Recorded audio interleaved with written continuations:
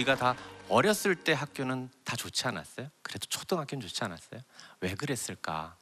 어, 유화 시인의 시골 국민학교를 추억함이라고 하는 시를 제가 낭송을 해드리겠습니다. 내 가슴엔 아직도 사루비아의 달콤함이 살고 여선생님 하얀 치아의 눈부심과 새 수련장 빨간 색연필로 쓴 참 잘했어요가 산다. 히말라야 시다 오동나무 가지 사이로 놀러 온 햇볕도 다람쥐도 찌르레기도 어린 풍금 소리에 맞춰 가슴에 달린 손수건처럼 마음을 펄럭이던 그래 생명의 모든 국민학교가 거기 있었지.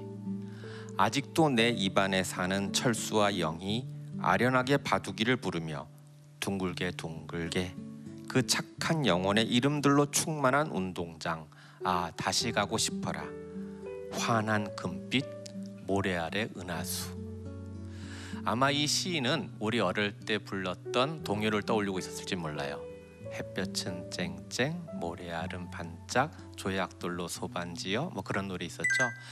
그렇게 우리가 불렀던 그 시절 그때의 국민학교에는 생명이 있었다 배움이 있었다 그러니까 학교는 원래 우리가 하나의 생태계라고 생각해 보자면은 굉장히 다양한 생명들이 살아야 그게 가장 건강한 학교예요. 서로에게 영향 주면서 아 정말 공부 잘하는 애는 저런 창의적인 애한테 혹은 저렇게 인성 좋은 애한테 서로가 영향을 주고하면서 그런 게 대학이고 원래 그런 게 학교잖아요. 학교는 생명을 키우는 그런 곳이거든요. 그런 학교가 지금 고등학교건 대학교건 아니 평생 교육에까지 이어졌으면 하는 그런 바람입니다.